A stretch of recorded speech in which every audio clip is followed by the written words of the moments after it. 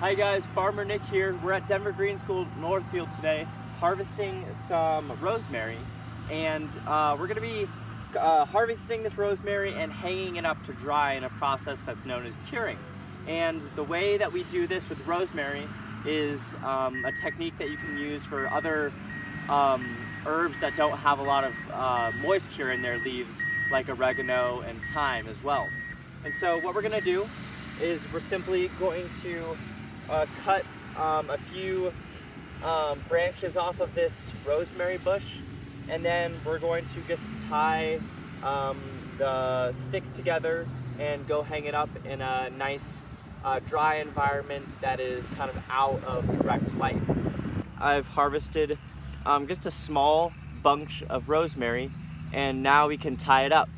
So you're gonna wanna cut just a small length of string to wrap around the rosemary and then tie it in a knot and give yourself a nice little length um, so that you can actually hang it as well. Shed, it's a nice, uh, cool, darker environment than outside and we're gonna hang up our rosemary so it can dry.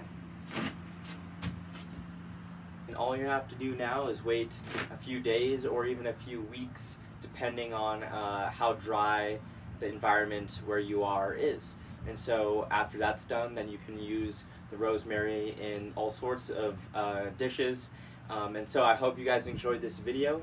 Uh, please tune in again for our video next week. Thanks guys.